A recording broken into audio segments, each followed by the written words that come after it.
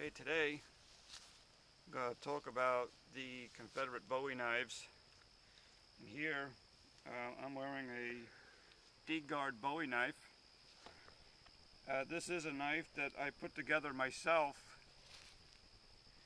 and uh, for the purpose of reenacting I put a safety pin which I just pull out.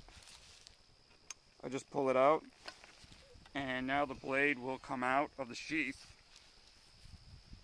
Uh, when we do Civil War reenacting, the knives should be tied, but this is this, using this little pin that goes actually through this little hole in the blade here. It's better than tying it, and it's a guarantee that the knife is not going to fall out of your sheath when you fall to the ground or something like that. The last thing you want to do is actually fall on this this knife is extremely sharp. Um, I keep it sharp for utility purposes. Uh, you know as well as I do that if you're a Civil War reenactor, you do a lot of camping. And uh, at times a good knife comes in handy. And uh, this knife seems to hold an edge pretty well. I can chop with it and cut with it. Uh, its blade length is 17 inches. Confederate knives all varied in um, uh, the length of blade and uh, a lot of variation. Uh, you got to be careful with uh, uh, eBay. A lot of people sell so-called Confederate knives on eBay, which are nothing more than fake. a lot of people are spending hundreds of dollars I haven't seen one go for thousands, but they're spending four, five hundred dollars on junk. Right? This is um, an Atlanta was, I should say, an Atlanta cutlery knife. It's their Bowie that they sell, and I took the handle apart, and I made a new handle. I put, I made the ferrule, and I put it on there. I rebent the guard to reflect a more um, authentic look to the knife. Uh, in that process I do shorten the blade a little bit. I shorten the scabbard to match the knife. I put a belt loop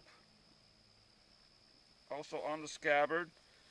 And uh, in here, if you notice there's a little wire that's tied around the loop a little bit on that one end. That tilts the knife off to the side. Alright, it throws off its center of gravity. Alright. Uh, it's a little awkward to have the knife hang straight down. It's always easy to have it because it, it, gives you the ability to move better. Um, uh, originally, these knives were carried by Confederate soldiers. They're more they they reflect more of an early war period, early to middle war. By that time, uh, the knives started to fall out of favor uh, because they weren't used as weapons as much Right, these knives were not intended for utility purposes. They were issued to be weapons. And there is accounts of battles where they actually threw down their guns and ran after the Yankees with these.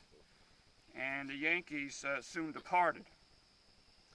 All right, there is an account given of a uh, Confederate and a Yankee uh, they met on a fence and they challenged each other, or the Confederate, I guess he was a Mississippian, I'm not sure, I don't remember offhand, uh, challenged him to a knife fight. And it turns out that the Yankee got an, a lucky stroke with his knife and nearly severed the head of the Confederate. You would not expect that, but uh, nonetheless, that's what happened. Uh, the Yankee was uh, delirious and he fell down uh, he had cuts and wounds on him, and after the ghastly sight, he was probably ready to faint. And a Seminole Indian came along and finished off the Yankee. All right. but uh, of that account that I I gave, uh, at least the general account, I read it here in the updated Confederate Bowie knife guide by Lee Hadaway. Uh, this is a good book. And you know, if you're a collector of knives and you see a knife on eBay, uh, it's always wise to get books first. All right, you do your research, you study up on knives, and then you know what you're looking at at least. Because uh, right away, I, I email guys on uh, these sites like eBay and, and other auction sites, and I, and I tell them that the knife is fake, and yet they're, they're misrepresenting what they're selling. And a lot of people are spending a lot of money on these. So uh, my advice is not to buy knives on eBay anyway, in terms of originals, generally speaking. But here, it gives a lot of uh, illustrations. Since I'm promoting the book, I don't think he's going to mind me showing some of what's in the book. As you can see, as I flip through the pages, very uh, different types of knives. All right. So we're going to put this back down here. Now there was one guy who um, sent me a message and he said that my knife was Farby in my last video. And uh, I'm assuming he meant that by saying that Confederate soldiers just didn't carry knives. And the fact is, Confederate soldiers did carry knives. All right, that's why they were made to be issued. All right, and uh, here are some pictures of Confederate soldiers with knives, and we'll just run through them real quick.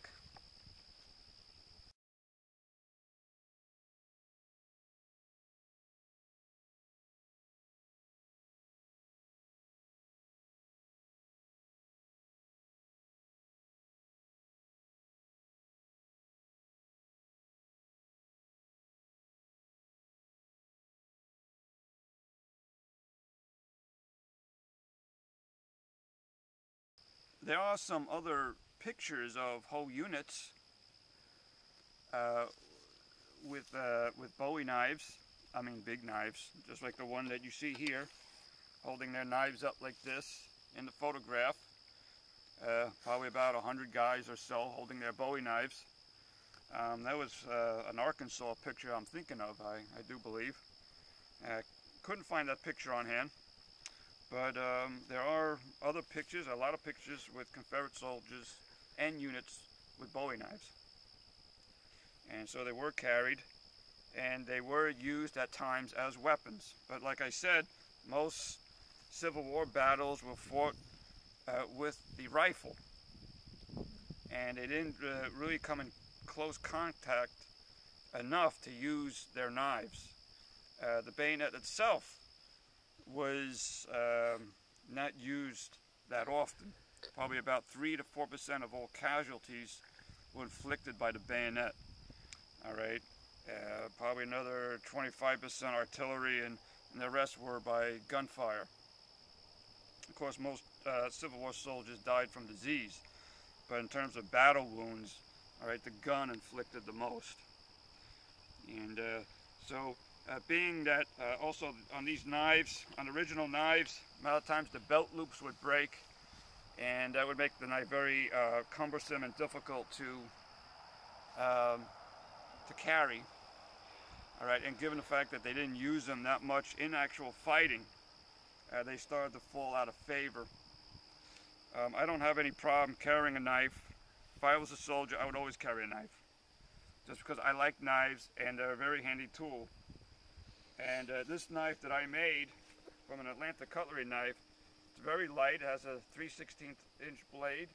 Steel is tough, it does spring back, all right, and it holds an edge pretty well. And uh, if I was a real soldier in the Civil War, I would carry this knife as long as I could. Right? It, uh, it doesn't bother me. So in my impression, uh, I like to carry a knife, and I don't think that that is Farby at all.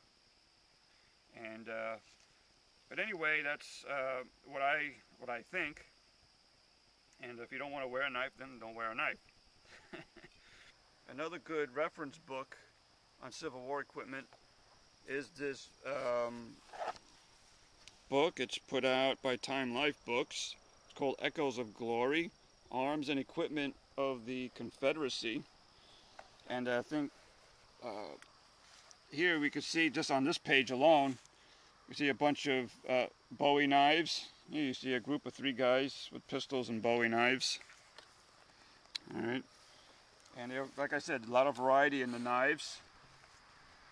And uh, this is a good reference book. It gives you a lot of pictures of other things. Um, for example, my jacket that you're seeing me wear right now is a variation of this jacket of uh, Private uh, Jenkins jacket, 21st Virginia Infantry. Right. And so this is a, another good reference book for the uh, Confederate uh, Civil War reenactor, the Confederate reenactor. They also have one on Yankee arms and equipment in case you do the Yankee impression. Here's uh, also some other pictures of some of the knives that I made